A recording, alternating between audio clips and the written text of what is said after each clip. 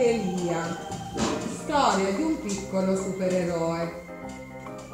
Sono diventato un mitrobo improvvisamente, inspiegabilmente. Non so dirvi esattamente come sia potuto accadere, ma una mattina di settembre mi sono risvegliato più piccolo di una formica.